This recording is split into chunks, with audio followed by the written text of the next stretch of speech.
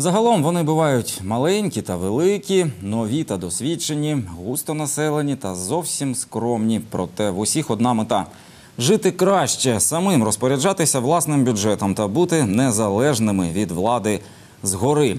Об'єднані територіальні громади в рамках реформи децентралізації швидко стали вагомим аргументом для активізації великих та маленьких сіл, селищ міського типу та навіть міст. Проте, незважаючи на доволі простий алгоритм об'єднання, з громадою потрібно щось робити, аби приваблювати інвесторів та розвивати власну спроможність. Часто люди самі не розуміють, що це таке та з чим його їдять. Але якраз для таких випадків у Запоріжжі провели цікавий інфомарафон під гаслом Успішні разом, де й розказали, як підвищити авторитет серед населення та знайти сильні сторони свого рідного краю.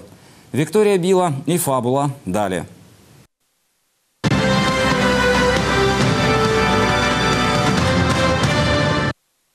Смирновська ОТГ Більмацького району, чисельність населення трохи більше трьох тисяч людей, але при цьому громада має профіцитний бюджет. До неї застосовується реверсна дотація, частина прибутків вилучається на користь держави. Це говорить про те, що територія самодостатня. Громада продукує більше податку з доходів фізичних осіб на душу населення, ніж середній показник в Україні. Це один з найуспішніших прикладів малих громад у Запоріжжі та Україні в цілому. Жителі розвіяли міф про те, що сильна громада обов'язково має бути великою.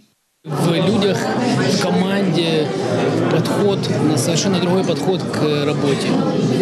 Э, Но основная цель все равно и основную задачу, которую мы ставим перед собой, это активизация населения и привлечение населения к жизни, э, к работе громады, к управлению громадой на всех возрастах. Мы не понимаем, что у нас будет на следующий бюджетный год, какие э, нам оставляют от финансирования, какие источники финансирования, какие нет, поэтому это одна из важных и проблемных вопросов. А це Широківська громада. Вона вже встигла стати легендарною. ОТГ позиціонує себе як така, що активно співпрацює з бізнесом.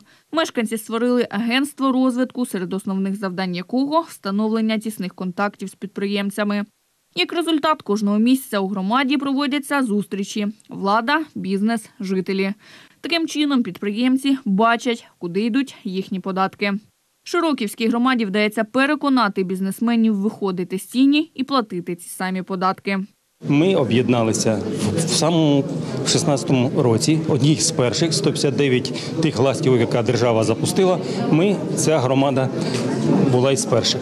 Сьогодні нас е, зібрали в в ну, в обласному центрі для того, щоб вирішити подальше питання щодо децентралізації. Тобто, другий крок нашої децентралізації об'єднання районів, укрупнення наших громад. Ну, звісно, хотілося б, щоб наша громада, як спроможна громада, в подальшому залишилась так, як вона є, хоч вона і маленька. Представники цих двох та інших десятків запорізьких громад відвідали круглий стіл, який організувала Всеукраїнська асоціація ОТГ.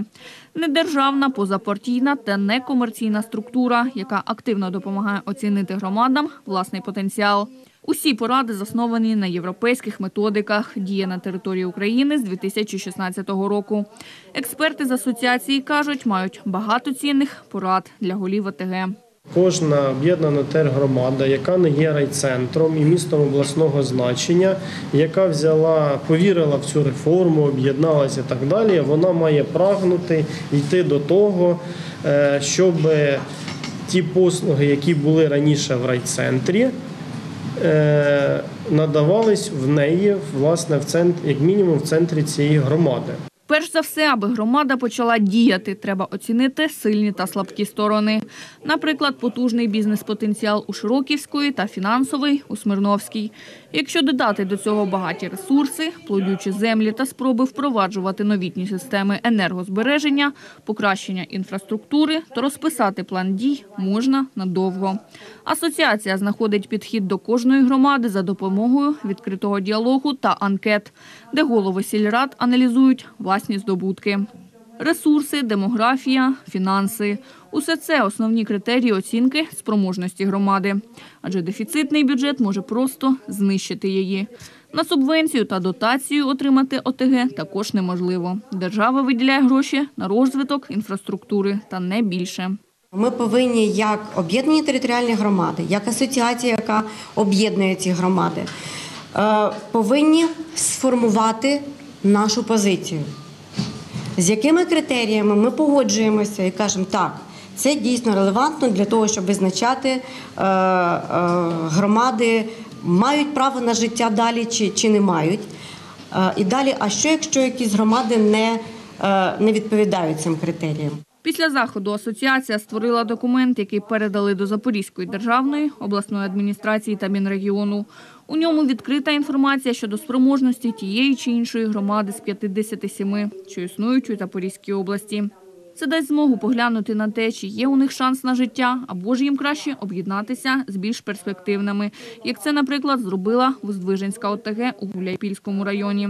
Додатковий показник і для тих, хто не об'єднався до сих пір, чи має сумніви щодо території або вигоди. Усі питання треба вирішити до кінця 2020 року, адже з 2021 громади мають довести, що можуть надавати послуги та мати ті повноваження, якими їх наділили.